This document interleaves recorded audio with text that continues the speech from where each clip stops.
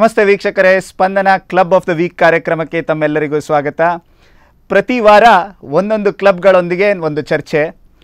ಕಳೆದ ವಾರ ನಾವು ಈ ಮಣಿಪಾಲದ ಮಹಿಳಾ ಸಮಾಜದೊಂದಿಗೆ ಒಂದು ಚರ್ಚೆಯನ್ನು ಮಾಡಿದ್ವಿ. ಅವ್ರು ಮಾಡ್ತಾ ಇರುವಂಥ ಕಾರ್ಯಕ್ರಮಗಳು, ಮಹಿಳಾ ಸಬಲೀಕರಣದಲ್ಲಿ ಅವ್ರು ಮಾಡ್ತಾ ಇರುವಂಥ ಕಾರ್ಯಕ್ರಮಗಳ ಬಗ್ಗೆ ಚರ್ಚೆಯನ್ನು ಮಾಡಿದ್ವಿ. ಈ ವಾರ ನಮ್ಮೊಂದಿಗೆ ಕಡಲ ತೀರದ, ತೀರದಿಂದ ಮೊಗವೀರ ಯುವ ಸಂಘಟನೆ ನಮ್ಮೊಂದಿಗಿದೆ.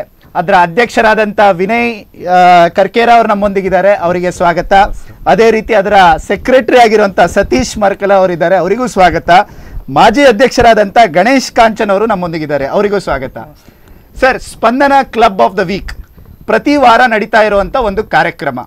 ತಾವು ತಮ್ಮದೇ ರೀತಿಯಲ್ಲಿ ಈ ಸಮಾಜಕ್ಕೆ ಹಲವಾರು ಕೊಡುಗೆಗಳನ್ನು ಕೊಡ್ತಾ ಬಂದಿದ್ದೀರಿ. ನಿಮ್ಮೊಂದಿಗೆ ಒಂದು ಚಿಕ್ಕ ಚರ್ಚೆ ಮಾಡಲಿಕ್ಕಿದೆ. ಅಧ್ಯಕ್ಷರ ಮೊದಲು ಕೇಳೋಣ. ಸರ್ ಎಷ್ಟು ವರ್ಷದಿಂದ ಈ ಮೊಗವೀರ ಯುವ ಸಂಘಟನೆಯಲ್ಲಿ ತಾವು ಕೆಲಸ ಮಾಡ್ತಾ ಇದ್ದೀರಿ? ಮತ್ತು ಯಾವ ರೀತಿಯ ಸಾಮಾಜಿಕ ಕಳಕಳಿಯನ್ನು ಇಟ್ಕೊಂಡು ಈ ಒಂದು ಮೊಗವೀರ ಯುವ ಸಂಘಟನೆಯಲ್ಲಿ ಕಾರ್ಯ- ಕಾರ್ಯಕ್ರಮವನ್ನು ಮಾಡ್ತಾ ಇದ್ದೀರಿ? ಮೊಗವೀರ ಯುವ ಸಂಘಟನೆ ಎರಡು ಸಾವಿರದ ಐದು ಮಾರ್ಚ್ ಆರು ತಾರೀಕಿಗೆ ಒಂದು ಉದ್ಘಾಟನೆಗೊಂಡ ಸಂಸ್ಥೆ. ಆ ಸಂಸ್ಥೆ ಉದ್ಘಾಟನೆಗೊಳಗ ಮುಂಚೆನೆ ನಾವೆಲ್ಲ ಒಂದು ಕಲೆಕ್ಟಿವ್ ಆಗಿ ವಿಚಾರ ಮಾಡುವ ಆ ಟೈಮಿಂದಲೂ ನಾವು ಆ ಸಂಘಟನೆಯಲ್ಲಿ ಇದ್ದೇವೆ. ಇವಾಗ ಎರಡು ಸಾವಿರದ ಹದಿನೇಳು ಹದಿನೆಂಟರ ಎರಡು ವರ್ಷಕ್ಕೆ ನಾನು ಅಧ್ಯಕ್ಷರಾಗಿ ಈಗ ಕೆಲಸ ಮಾಡ್ತಾ ಇದ್ದೀರಿ. ನೀವು ಪ್ರಾರಂಭ ಮಾಡುವಾಗ ಅದರ ಪ್ರಾರಂಭಿಕ ಅಧ್ಯಕ್ಷರು ಯಾರಾಗಿದ್ರು? ಸತೀಶ್ ಅಮೀನ್ ಪಡುಕರೆ.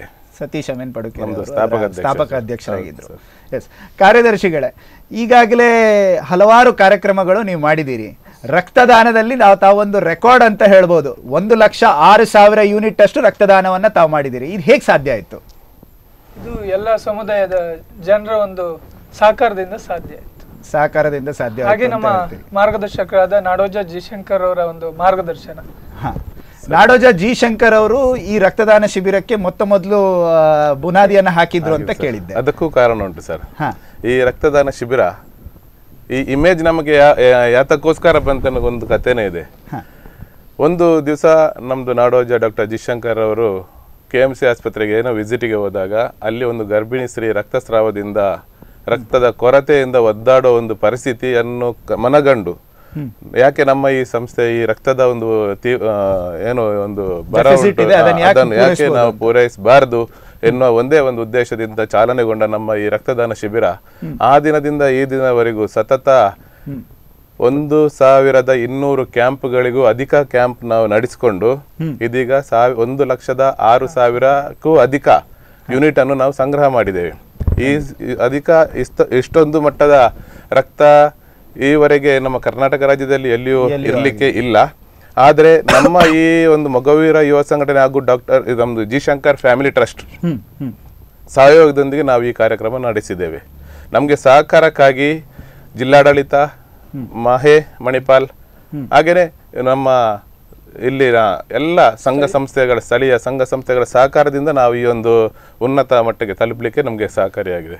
ಆ, ವೀಕ್ಷಕರೇ ತಮ್ಮ ಗಮನಕ್ಕೆ ಈ ಒಂದು ಸಂಘಟನೆ ಜಿಲ್ಲಾ ರಾಜ್ಯೋತ್ಸವ ಅದೇ ರೀತಿ ರಾಜ್ಯ ರಾಜ್ಯೋತ್ಸವ ಪ್ರಶಸ್ತಿಯನ್ನ ಒಂದೇ ವರ್ಷ ಪಡ್ಕೊಂಡಿರುವಂತ ಒಂದು ಸಂಘಟನೆ ಆಗಿದೆ. ಆ, ಈ ಬಗ್ಗೆ ಏನ್ ಹೇಳಲಿಕ್ಕೆ ಇಷ್ಟಪಡ್ತೀರಿ ಅಧ್ಯಕ್ಷರೇ? ಬಹಳಷ್ಟು ಹೆಮ್ಮೆ ಅನಿಸಿದೆ ಸರ್. ನಾವು ಈ ಒಂದು ಮಗುವಿನ ಸಂಘಟನೆಯಲ್ಲಿ ಹನ್ನೆರಡು ವರ್ಷದಿಂದ ಸತತ ನಾವು ಕಾರ್ಯನಿರ್ವಹಿಸ್ತಾ ಇರುವಾಗ ನಮಗೆ ಎರಡು ಸಾವಿರದ ಹತ್ತರಲ್ಲಿ ಏಕಕಾಲದಲ್ಲಿ ರಾಜ್ಯ ಮತ್ತೆ ಜಿಲ್ಲಾ ಪ್ರಶಸ್ತಿ ಸಿಕ್ಕಿದಂತೇಳಿ ತುಂಬ ಅದನ್ನ ನಾವು ಎನಿಸಲೇ ಇಲ್ಲ. ಯಾಕಂತ ಹೇಳಿದ್ರೆ ನಾವು ಯಾವುದೇ ಒಂದು ಪ್ರತಿಫಲ ಅಪೇಕ್ಷೆ ಇಲ್ಲದೆ ನಾವು ದುಡಿಯೋರು ಈ ಮಗುವೀರ ಸಂಘಟನೆಯಲ್ಲಿ. ಒಂದೊಮ್ಮೆ ಜಾತಿಯ ಹೆಸರನ್ನು ಇಟ್ಟುಕೊಂಡು ನಾವು ನಮ್ಮದೇ ಅಂತ ಜಾತಿಗೆ ಸೀಮಿತವಾಗಿಲ್ಲ. ಜಾತಿಯೇತರವಾಗಿ ಜಾತಿಯೇತರವಾಗಿ ಸಾಮೂಹಿಕ ವಿವಾಹ ಮತ್ತೆ ನಮ್ದು ಒಂದು ಕ್ರೀಡಾ ಒಂದು ಇದು ಕಾರ್ಯಕ್ರಮ. ಆ ಎರಡು ಕಾರ್ಯಕ್ರಮ ಬಿಟ್ಟು ಮತ್ತೆ ನಾವೆಲ್ಲ ವರ್ಷಂಪ್ರತಿ ನಾವು ನಡೆಸುವ ಎಲ್ಲಾ ಕಾರ್ಯಕ್ರಮ ಎಲ್ಲಾ ಜಾತಿ ಸಮುದಾಯದವರಿಗೆ ಮೀಸಲಾಗಿ ಇಟ್ಟಿದ್ದೇವೆ ನಾವು. ಮಾಜಿ ಅಧ್ಯಕ್ಷರು ಆಗಿರುವಂಥ ಗಣೇಶ್ ಕಾಂಚನ್ ಅವ್ರ ಹತ್ರ ಕೇಳಬೇಕು. ಈಗಾಗಲೇ ಅಧ್ಯಕ್ಷರು ಹೇಳಿದರು ಜಾತಿಯೇತರವಾಗಿ ಕಾರ್ಯಕ್ರಮಗಳನ್ನು ಮಾಡ್ತಾ ಇದ್ದೀರಿ ಅಂತ ಹೇಳಿ. ತಮ್ಮ ಅವಧಿಯಲ್ಲೂ ಹಲವಾರು ಕಾರ್ಯಕ್ರಮಗಳನ್ನು ತಾವು ಮಾಡಿರ್ತೀರಿ. ಯಾವ ಕಾರ್ಯಕ್ರಮ ತಮ್, ತಮಗೆ ತುಂಬ ಇಷ್ಟ ಆದಂಥ ಕಾರ್ಯಕ್ರಮ, ಇದು ಪ್ರತಿ ವರ್ಷ ನಡೀತದೆ, ಆದರೆ ನನಗಿದು ತುಂಬ ಇಷ್ಟ ಅಂತ ಹೇಳುವಂಥ ಕಾರ್ಯಕ್ರಮ ಯಾವುದು? ಗಣೇಶಣ್ಣ ಪ್ರತಿ ವರ್ಷ ನಡೆಯುವಂಥ ಕಾರ್ಯಕ್ರಮಗಳು ಈಗಾಗಲೇ ನಾವು ತಿಳ್ಕೊಂಡಾಗೆ ಬ್ಲಡ್ ಡೊನೇಷನ್ ಕ್ಯಾಂಪು ಈಗಾಗಲೇ ಅಧ್ಯಕ್ಷರು ಹೇಳಿದಾಗೆ ಒಂದು ಲಕ್ಷದ ಆರು ಸಾವಿರಕ್ಕೂ ಮಿಗಿಲಾಗಿ ನಾವು ಇದು ಮಾಡಿದ್ದೇವೆ. ಆ ಕಾರಣಕ್ಕಾಗಿ ಉಡುಪಿ ಜಿಲ್ಲೆಗೆ ಆ ಕಾರಣಕ್ಕಾಗಿ ಅನ್ನೋದಕ್ಕಿಂತ ನಮ್ಮ ಜೊತೆಗೆ ಆ ಬ್ಲಡ್ ಡೊನೇಷನ್ ಕ್ಯಾಂಪ್ನಲ್ಲಿ ಎಲ್ಲ ಹತ್ತೊಂಬತ್ತು ಘಟಕಗಳು ಏನು ಕಾರ್ಯನಿರ್ವಹಿಸ್ತಾ ಇದ್ದಾವೆ. ಕೆಲವೊಂದು ಘಟಕಗಳು ಹತ್ತು ಹದಿನೈದು ಕ್ಯಾಂಪ್ಗಳನ್ನು ಕೂಡ ಒಂದು ವರ್ಷದಲ್ಲಿ ನಡೆಸಿ ಕೊಟ್ಟಿದ್ದುಂಟು. ಆ, ಸಂದರ್ಭದಲ್ಲಿ ಆ ಘಟಕಗಳ ವ್ಯಾಪ್ತಿಯಲ್ಲಿ ಅಲ್ಲಿನ ಎಲ್ಲ ಸಮುದಾಯವನ್ನು ಸೇರಿಸ್ಕೊಂಡು ಅಲ್ಲಿನ ಎಲ್ಲ ಸ್ಥಳೀಯ ಸಂಘ ಸಂಸ್ಥೆಗಳನ್ನು ಪ್ರೇರೇಪಿಸಿಕೊಂಡು ಆ ಒಂದು ಕಾರ್ಯಕ್ರಮವನ್ನು ಯಶಸ್ವಿಯಾಗಿ ನಡೆಸ್ಕೊಂಡು ಬರ್ತಾ ಇದ್ದೇವೆ. ಅದು ಬಹಳ ಇಷ್ಟವಾಗಿದೆ. ಅದಕ್ಕಿಂತ ಮಿಗಿಲಾಗಿ ನಾವು ಏನು ಹೆಲ್ತ್ ಕಾರ್ಡ್ ಕಾರ್ಯಕ್ರಮ ಮಾಡ್ತಾ ಇದ್ದೇವೆ. ಇದು ಪ್ರತಿ ವರ್ಷ ಬಹುತೇಕ ಎಲ್ಲ ಸಮಾಜದವರೆಗೂ ಎಲ್ಲ ಜಾತಿ ಬಂಧುಗಳಿಗೂ ಕೂಡ ತಲುಪುವಂತ ಒಂದು ಕಾರ್ಯಕ್ರಮ. ಈ ಹೆಲ್ತ್ ಕಾರ್ಡ್ ಕಾರ್ಯಕ್ರಮ ಯಾವ ರೀತಿ ನಡೀತದೆ? ಅಂದ್ರೆ ಈ ವೀಕ್ಷಕರ ಗಮನಕ್ಕೋಸ್ಕರ ಈ ಹೆಲ್ತ್ ಕಾರ್ಡ್ ಅನ್ನ ಯಾರಿಗೆ ಕೊಡ್ತೀರಿ ತಾವು? ತೀರಾ ಅತ್ಯಂತ ಅಗತ್ಯವುಳ್ಳ ಬಡ ಹಾ ಕುಟುಂಬದವರಿಗೆ. ಕುಟುಂಬದವರಿಗೆ. ಇದು ತಲುಪಬೇಕು ಅನ್ನುವಂಥದ್ದು ನಮ್ಮ ನಾಡೋಜ ಡಾಕ್ಟರ್ ಜೈಶಂಕರ್ ಅವರ ಒಂದು ಕಾಳ ಕನಸು ಕನಸು. ಅದಕ್ಕಾಗಿ ಅವರು ಮಾಹೆ ಮಣಿಪಾಲದ ಮಣಿಪಾಲ ವಿಶ್ವವಿದ್ಯಾಲಯದ ಎಲ್ಲ ಬಂಧುಗಳ ಜೊತೆಗೆ ಸಂಪರ್ಕವನ್ನು ಇರಿಸ್ಕೊಂಡು ಅದರ ಪ್ರೀಮಿಯಂ ಅನ್ನ ತಮ್ಮ ಸಂಘಟನೆಗಳಿಂದ ಕಟ್ಟೋ ಹಾಗೆ ಒಂದು ಇನ್ಶೂರೆನ್ಸ್ ಕಾರ್ಡ್ ತರ ಮಾಡಿದಾರ? ಯಾವ ರೀತಿ ಮಾಡಿದ್ದಾರೆ ಇನ್ಶೂರೆನ್ಸ್ ಕಾರ್ಡ್ ಅದು. ಪ್ರೀಮಿಯಂ ಇನಿಷಿಯಲ್ ಅಮೌಂಟ್ ಪೇಶ ಇವ್ರ ಕಡೆಯಿಂದ ಪಾರ್ಟಿ ಕಡೆಯಿಂದ ಬರ್ತದೆ. ಅದರ ಜೊತೆಗೆ ಅದಕ್ಕೆ ಮ- ಈ ಹಿಂದೆ ಮೂವತ್ತು ಸಾವಿರದಷ್ಟು ಬೆನಿಫಿಟ್ ಸಿಗ್ತಾ ಇತ್ತು. ಐದು ಜನರನ್ನ ಅದನ್ನ ಸೇರಿಸ್ಕೊಳ್ಬಹುದು ಆ ಕಾರ್ಡ್ನಲ್ಲಿ ಐದು ಜನರಲ್ಲಿ ಯಾರೇ ಒಳರೋಗಿ ಅಥವಾ ಹೊರರೋಗಿಯಾಗಿ ಸೇರ್ಕೊಂಡಾಗ ಹಾಸ್ಪಿಟ್ಲಿಗೆ ಹೋದಾಗ ಅವರಿಗೆ ಮೂವತ್ತು ಸಾವಿರ ತನಕ ಪ್ರೀ ಇದು ಕ್ಲೈಮ್ ಆಗ್ತಾ ಇತ್ತು. ಅದರ ನಂತರ ಕಳೆದ ಒಂದು ಮೂರ್ನಾಲ್ಕು ವರ್ಷದಿಂದ ಐವತ್ತು ಸಾವಿರಕ್ಕೆ ಅದನ್ನು ಏರಿಸುವ ಡಾಕ್ಟರ್ ಜೈಶಂಕರ್ ಹಾಗೂ ಮಗುವರ ಯುವ ಸಂಘಟನೆ ಮಾಹಿ ಮಣಿಪಾಲವನ್ನ ಸಂಪರ್ಕಿಸಿದಾಗ ಮಾಡಿ. ಟೈ ಅಪ್ ಮಾಡಿಕೊಂಡು ಟು ಫಿಫ್ಟಿ ತೌಸಂಡ್ ತೌಸಂಡ್ ತನಕ ಕ್ಲೈಮ್ ಇಷ್ಟು ತನಕ ಎಷ್ಟು ಹೆಲ್ತ್ ಕಾರ್ಡ್ಗಳು ಈ ರೀತಿ ಕೊಟ್ಟಿದ್ದಾರೆ ಕಾರ್ಯದರ್ಶಿಯವರು? ಏನಾದರೂ ಅಂದಾಜಿದೆಯಾ? ಒಂದು ಲಕ್ಷದ ಒಂದು ಎಪ್ಪತ್ತೊಂದು ಸಾವಿರ ಹೆಲ್ತ್ ಕಾರ್ಡ್ ಇದು ಯಾವ ಪ್ರದೇಶದಲ್ಲಿ? ಎಲ್ಲ ಉಡುಪಿ ಜಿಲ್ಲೆ ಉಡುಪಿ ಬಹುತೇಕ ಸ್ವಲ್ಪ ಹೊರಗಡೆ ಹೋಗಿದ್ದೇವೆ ತೀರ್ಥಹಳ್ಳಿ. ಯಾಕಂದ್ರೆ ಮಣಿಪಾಲಕ್ಕೆ ರೋಗಿಗಳಾಗಿ ನಮಗೆ ಆ ಕಡೆಯಿಂದನೂ ಸ್ವಲ್ಪ ಜನ ಬರ್ತಾ ಇದ್ದದ್ರಿಂದ ತೀರ್ಥಹಳ್ಳಿ ಶಿವಮೊಗ್ಗ ಸಾಗರ ಮತ್ತೆ ಆಗುಂಬೆ ಆ ಪ್ರದೇಶಕ್ಕೆ ಮಂಗಳೂರು ಮಂಗಳೂರಿಗೆ ಕೊಟ್ಟಿದ್ದೇವೆ. ಸ್ವಲ್ಪ ಮಂಗಳೂರು ಕೂಡ ನಾನು ನಾನ್ ತಿಳಿದಿರೋ ಹಾಗೆ ಮೊಗವೀರ ಯುವ ಸಂಘಟನೆಯಲ್ಲಿ ಹತ್ತೊಂಬತ್ತು ಘಟಕಗಳಿದೆ. ಆ ಐದು ಮಣಿ ಮಹಿಳಾ ಘಟಕಗಳಿದೆ. ಅಂದ್ರೆ ಇಪ್ಪತ್ನಾಲ್ಕು ಘಟಕಗಳು ನಿಮ್ಮ ಈ ಒಂದು ಮಗವೀರ ಯುವ ಸಂಘಟನೆಯಲ್ಲಿ ಇದೆ ಅಂತ ತಿಳಿದಿದ್ದೀನಿ. ಈ ಘಟಕಗಳು ಯಾವ ರೀತಿ ಕಾರ್ಯಕ್ರಮ ಮಾಡುತ್ತೆ ಮತ್ತೆ ತಮ್ಮೊಂದಿಗೆ ಯಾವ ರೀತಿ ಸಹಯೋಗವನ್ನು ಕೊಡ್ತಾ ಇದೆ? ಅಧ್ಯಕ್ಷರ ಹತ್ರ ಕೇಳೋಣ. ನಮ್ಮ ನಾವೀಗ ಹೇಳಿದಾಗೆ ಹೆಲ್ತ್ ಕಾರ್ಡ್ ಡಿಸ್ಟ್ರಿಬ್ಯೂಷನ್ ಪ್ರೋಗ್ರಾಮ್ ರಕ್ತದಾನ ಶಿಬಿರ ಮತ್ತು ಗುರಿಕಾರರ ಸಮಾವೇಶ ಮತ್ತು ಸ್ಕಾಲರ್ಶಿಪ್ ಬುಕ್ ಡೊನೇ ಡೊನೇಷನ್ ಉಚಿತ ಪುಸ್ತಕ ವಿತರಣಾ. ಕಾರ್ಯಕ್ರಮ. ಈ ಎಲ್ಲ ಮತ್ತು ವಿದ್ಯಾರ್ಥಿ ವೇತನ. ಈ ಎಲ್ಲ ಕಾರ್ಯಕ್ರಮ ನಮ್ಮ ಪ್ರತಿ ವರ್ಷ ನಡೆಯುವುದೇ. ಮತ್ತೆ ಮಾಸ್ ಮ್ಯಾರೇಜ್ ಈ ಎಲ್ಲ ಕಾರ್ಯಕ್ರಮಕ್ಕೆ ನಮಗೆ ವೇಳಾಪಟ್ಟಿ ನಿಗದಿ ಆಗಿರ್ತದೆ.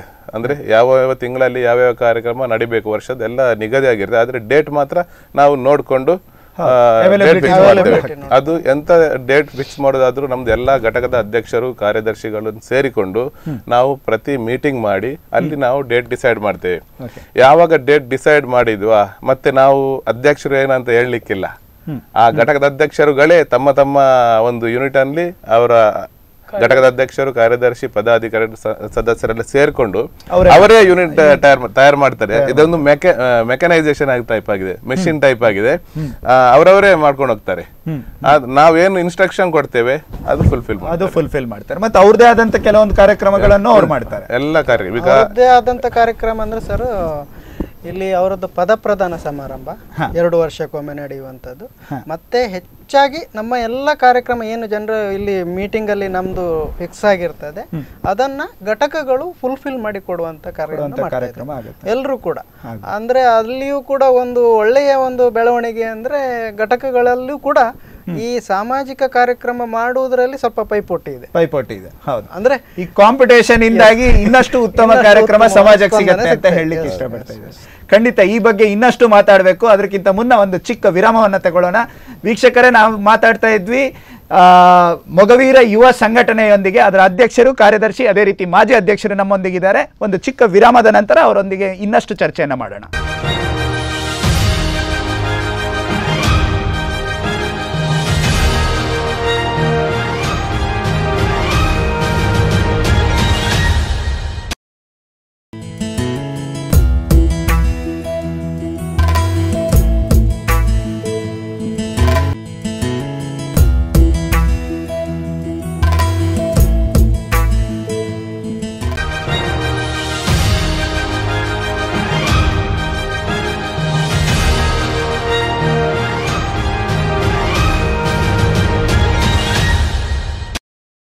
ಎಸ್ ವೀಕ್ಷಕರೇ, Spandana club of the week ಕಾರ್ಯಕ್ರಮಕ್ಕೆ ವಿರಾಮದ ನಂತರ ತಮ್ಮೆಲ್ಲರಿಗೂ ಸ್ವಾಗತ. ನಮ್ಮೊಂದಿಗಿದ್ದಾರೆ ಮೊಗವೀರ ಯುವ ಸಂಘಟನೆಯ ಅಧ್ಯಕ್ಷರು, ಕಾರ್ಯದರ್ಶಿ, ಅದೇ ರೀತಿ ಮಾಜಿ ಅಧ್ಯಕ್ಷರು.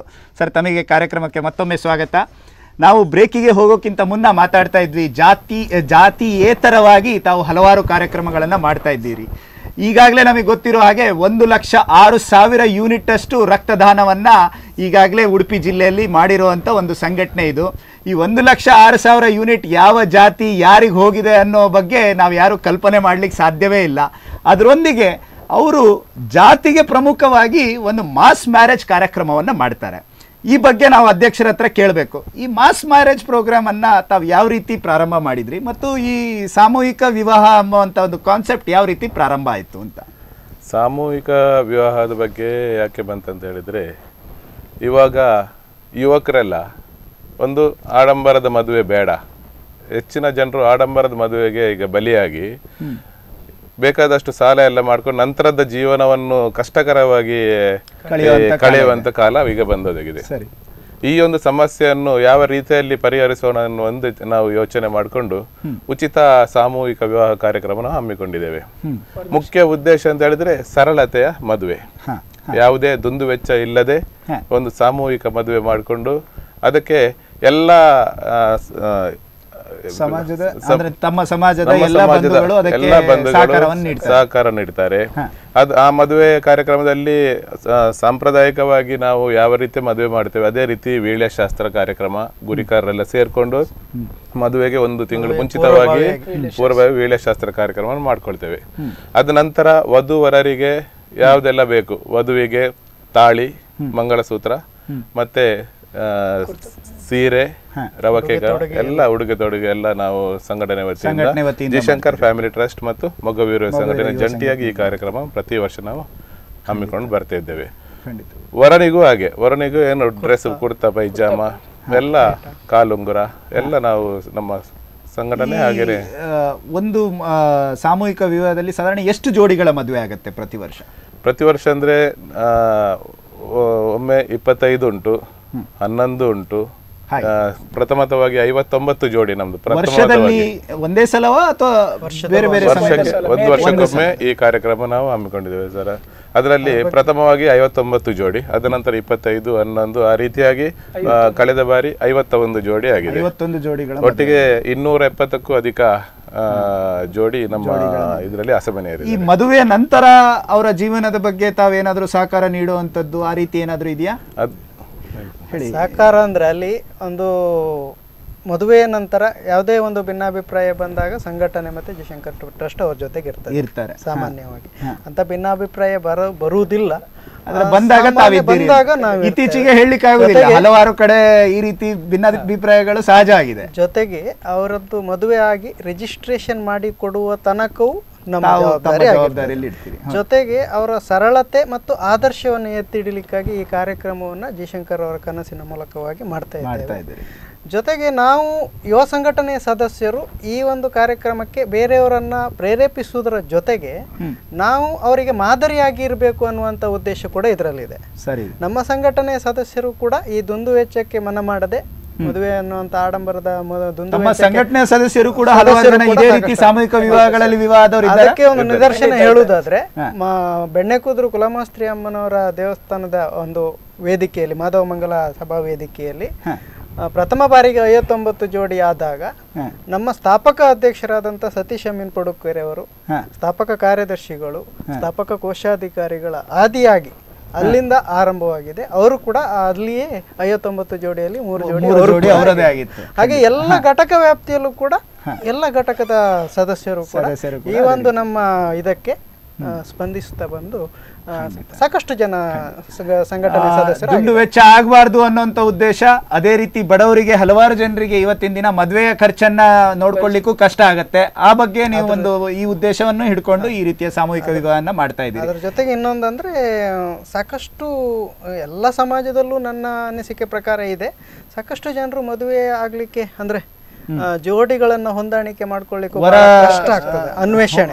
ಹೌದು ವಧುವರರ ಅನ್ವೇಷಣೆ ಅನ್ವೇಷಣೆ. ಅದು ಕೂಡ ಈ ಮೂಲಕ ನಮ್ಮ ಈ ಒಂದು ವೇದಿಕೆ ಅಡಿಗಳಲ್ಲಿ ಸಾಕಷ್ಟು ಆಗ್ತದೆ. ಆಗ್ತಾ ಇದೆ. ಸಾಕತ್ತಂದ್ರೆ ಯಾವ ಮತ ನಿಮ್ಮ ಹತ್ರ ಅಂತ ಏನಾದ್ರು ಡೇಟಾ ಬೇಸ್ ಇದೆಯಾ?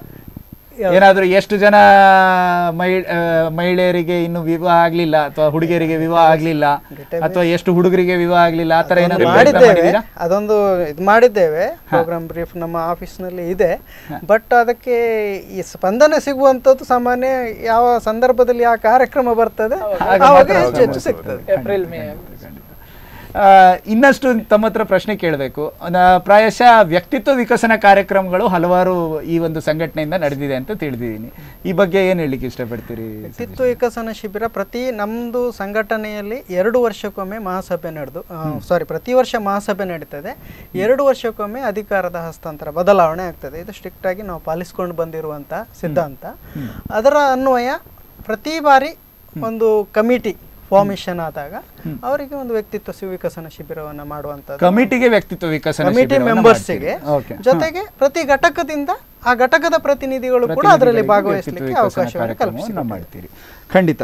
ಆ, ತಮ್ಮ ಹತ್ರ ಕೇಳಬೇಕು ಸ್ಪೋರ್ಟ್ಸ್ ಮೀಟ್ ಅನ್ನ ತಾವು ಮಾಡ್ತೀರಿ ಪ್ರತಿ ವರ್ಷ?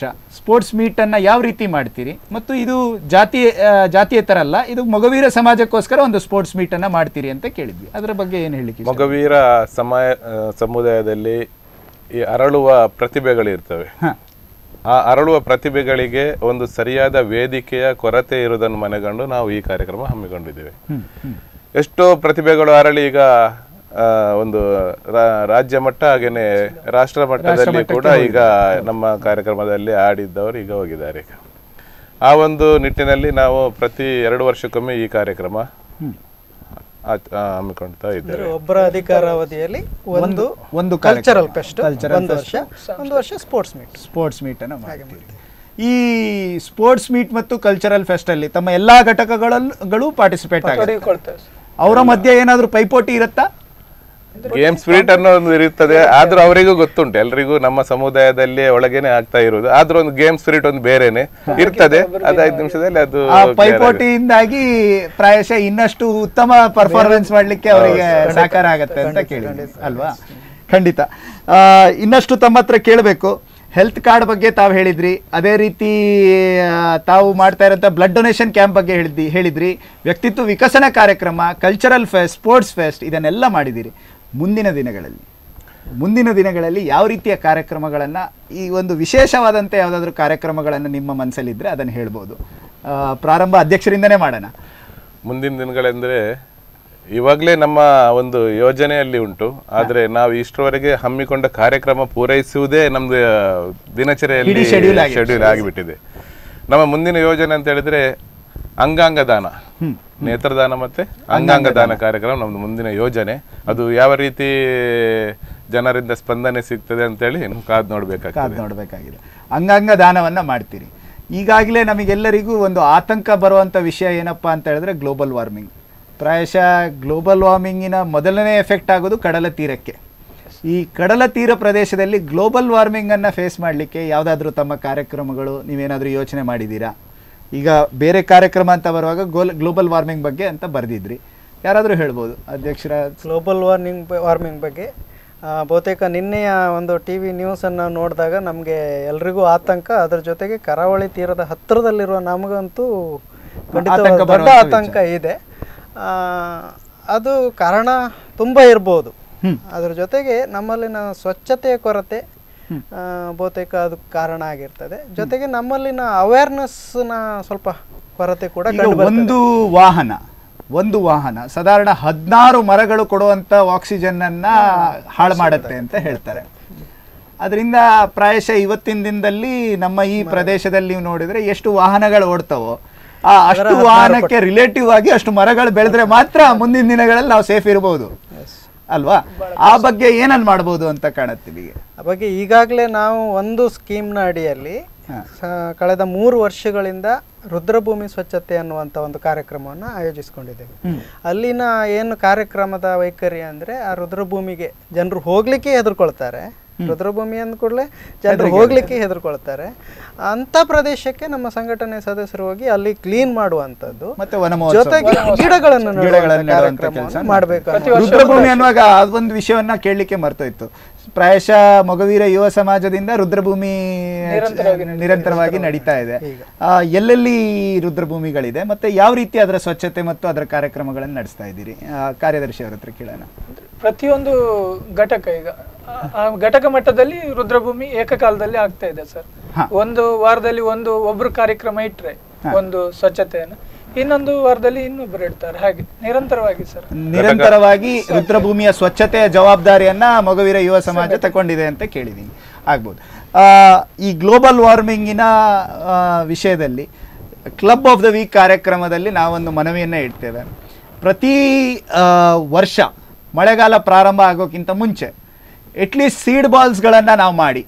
ಆ ಸೀಡ್ ಬಾಲ್ಸ್ಗಳನ್ನು ಬೇರೆ ಬೇರೆ ನೀರು ನಿಲ್ಲುವಂಥ ಪ್ರದೇಶಗಳಲ್ಲಿ ಹಾಕಿದ್ದಲ್ಲಿ ಮುಂದಿನ ದಿನಗಳಲ್ಲಿ ನಮಗೆ ಆದಷ್ಟು ಗ್ಲೋಬಲ್ ವಾರ್ಮಿಂಗನ್ನು ಕಮ್ಮಿ ಮಾಡೋ ಬಗ್ಗೆ ಏನಾದರೂ ಮಾಡ್ಬೋದು ಅಂತ ಕಾಣುತ್ತೆ. ಆ ಬಗ್ಗೆ ತಾವು ಕಾ- ಕೈ ಜೋಡಿಸ್ಬೇಕು ಅಂತ ಕೇಳ್ಕೊಳ್ತಾ. ಅದೇ ರೀತಿ Spandana club of the week ಈ ಕಾರ್ಯಕ್ರಮ ಮುಂದಿನ ದಿನಗಳಲ್ಲಿ ಕ್ಲಬ್ ಆಫ್ ದ ಇಯರ್ ಅಂತೇಳಿ ಒಂದು ಅವಾರ್ಡ್ ಸೆರೆಮನಿ ನಡೀಲಿಕ್ಕಿದೆ. ಅದರಲ್ಲಿ ಬೇರೆ ಬೇರೆ ವಿಚಾರಗಳಲ್ಲಿ ಒಂದು ಅವಾರ್ಡ್ಗಳನ್ನು ನಾವು ಕೊಡ್ತೀವಿ. ಸ್ಪಂದನ ಕ್ಲಬ್ ಆಫ್ ದ ವೀಕಿನ ಫೇಸ್ಬುಕ್ ಪ್ರೊಫೈಲ್ ಪೇಜಿಗೆ ಹೋಗಿ ತಮ್ಮ ಕಾರ್ಯಕ್ರಮಗಳನ್ನು ತಾವು ಪೋಸ್ಟ್ ಮಾಡಿದ್ದಲ್ಲಿ ಆ ಕಾರ್ಯಕ್ರಮಗಳನ್ನು ನಮ್ಮ ನ್ಯೂಸಲ್ಲಿ ಕವರ್ ಮಾಡುವಂಥದ್ದು. ಅದೇ ರೀತಿ ನಿಮ್ಮ ಕಾರ್ಯಕ್ರಮದ ಬೇಸಿಸಲ್ಲಿ ಒಂದು Spandana club of the year ಅವಾರ್ಡನ್ನು ಕೊಡುವಂಥ ಕೆಲಸವನ್ನು ಮಾಡ್ತೀವಿ.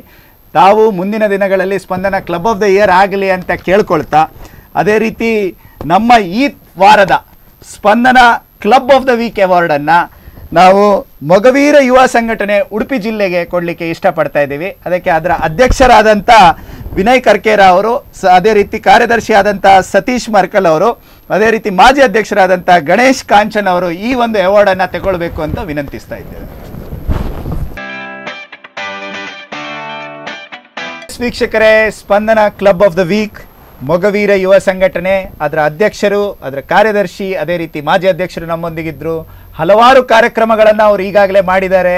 ಮುಂದಿನ ದಿನಗಳಲ್ಲಿ ಈ ಸಮಾಜದ ಇನ್ನಷ್ಟು ಕಾರ್ಯಕ್ರಮಗಳನ್ನು ಅವರಿಂದ ನಾವು ಕಾಣಲಿಕ್ಕಿದೆ. ಈ ಇಲ್ಲಿವರೆಗೆ ಸ್ಪಂದನ ಚಾನಲ್ಗೆ ಬಂದು ತಾವು ತಮ್ಮ ಹಲವಾರು ಕಾರ್ಯಕ್ರಮಗಳನ್ನು ಹಂಚಿಕೊಂಡಿದ್ದೀರಿ. ಕೊನೆಯದಾಗಿ ಒಬ್ಬೊಬ್ಬರೇ ಹತ್ರ ಕೇಳೋಣ.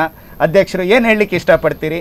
ಈ ಕಾರ್ಯಕ್ರಮದ ಬಗ್ಗೆ ಅದೇ ರೀತಿ ಮುಂದಿನ ದಿನಗಳಲ್ಲಿ ಸ್ಪಂದನದಿಂದ ತಮ್ಮ ಅಪೇಕ್ಷೆ ಏನು ಅಂತೇಳಿ ಹೇಳಲಿಕ್ಕೆ ಇಷ್ಟಪಡ್ತೀರಿ? ಮೊದಲಿಗಾಗಿ ಈ ಕಾರ್ಯ ಕಾರ್ಯಕ್ರಮದ ಬಗ್ಗೆ ನಾನು ಸ್ಪಂದನ ಟಿವಿಗೆ ಒಂದು ಧನ್ಯವಾದವನ್ನು ಹೇಳ್ತಿದ್ದೇನೆ. ಯಾಕೆಂತ ಹೇಳಿದರೆ ನಮ್ಮನ್ನು ನಮ್ಮನ್ನು ಈ ಹಿಂದೆ ನಮ್ಮ ಕಾರ್ಯವೈಖರಿಗಳನ್ನು ಮನಗಂಡು ಕರ್ನಾಟಕ ರಾಜ್ಯ ಸರ್ಕಾರ ನಮಗೆ ಏಕಕಾಲದಲ್ಲಿ ಕರ್ನಾಟಕ ರಾಜ್ಯೋತ್ಸವ ಹಾಗೇನೆ ಜಿಲ್ಲಾ ರಾಜ್ಯೋತ್ಸವ ಪ್ರಶಸ್ತಿಯನ್ನು ನೀಡಿ ಗೌರವಿಸಿದ್ದಾರೆ. ಯಾಕಂತ ಹೇಳಿದ್ರೆ ಯಾವುದೇ ಪ್ರತಿಫಲ ಅಪೇಕ್ಷೆ ಇಲ್ಲದೆ ನಾವು ದುಡಿಯುವ ಒಂದು ಈ ಸಂಸ್ಥೆ.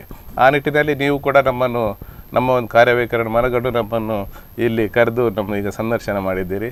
ಅದಕ್ಕೋಸ್ಕರ ನಾವು ಧನ್ಯವಾದ ಹೇಳ್ತೇನೆ. ಅದೇ ರೀತಿ ಮುಂದಿನ ದಿನಗಳಲ್ಲಿ ಕೂಡ ನಿಮ್ಮ ಈ ಒಂದು ಕ್ಲಬ್ ಆಫ್ ದ ವೀಕ್ನ ಮುಖಾಂತರ ಸಮಾಜದ ಅವಶ್ಯಕತೆ ಇದ್ದವರಿಗೆ ಯಾರಿಗಾದರೂ ಒಂದು ಉಪಕಾರ ಸಹಕಾರ ಆಗುವುದಾದರೆ ನಾವು ನಮ್ಮ ಮಗುವಿರುವ ಸಂಘಟನೆ ಹಾಗೆಯೇ ಜಿ ಶಂಕರ್ ಫ್ಯಾಮಿಲಿ ಟ್ರಸ್ಟ್ ಸದಾ ಬದ್ಧ ಅಂತ ಹೇಳಲಿಕ್ಕೆ ಇಷ್ಟಪಡ್ತೇನೆ ಎಸ್ ಕಾರ್ಯದರ್ಶಿ ಅವರು. ಸರ್ ಹೇಳಿದಾಗೆ ತಮ್ಮಿಂದ ಸ್ಪಂದನ ವಾಹಿನಿ ಏನೇನು ಪೋಸ್ಟ್ ಮಾಡಬೇಕು. ಈಗ Facebook page Spandana club of the week ಅಂತ ಒಂದು ಫೇಸ್ಬುಕ್ ಪೇಜ್ ಇದೆ. ತಮ್ಮಲ್ಲಿ ಯಾರಾದರೂ ಒಬ್ಬರು ತಮ್ಮ ಪ್ರತಿಯೊಂದು ನ್ಯೂಸನ್ನು ಅದರಲ್ಲಿ ಹಾಕಿದ್ದಲ್ಲಿ ನಾವು ಅದನ್ನು ವೀಕ್ಷಕರಿಗೆ ತೋರಿಸಲಿಕ್ಕೆ ಇಷ್ಟಪಡ್ತೀವಿ. ಎಸ್ ವೀಕ್ಷಕರೇ ನಮ್ಮೊಂದಿಗೆ ಮೂರು ದಿಗ್ಗಜರು ಕಡಲ ತೀರದಿಂದ ಬಂದಿದ್ದಾರೆ. ಅವರಿಗೆ ಈ ಒಂದು Spandana club of the week ಅವಾರ್ಡನ್ನು ಕೊಟ್ಟಿದ್ದೇವೆ. ಮುಂದಿನ ದಿನಗಳಲ್ಲಿ ಅವರು Spandana club of the year ಆಗಿ ಹಮ್ಮಲ್ಲಿ ಹಮ್ಮಲಿ ಅಂತ ಕೇಳ್ಕೊಳ್ತಾ ಇಷ್ಟೋ ತನಕ ತಾವು ನೋಡ್ತಾ ಇದ್ರಿ. Spandana club of the week ಕಾರ್ಯಕ್ರಮ, ನಾನು ವಿಲಾಸ್ ನಾಯಕ್. ಧನ್ಯವಾದ.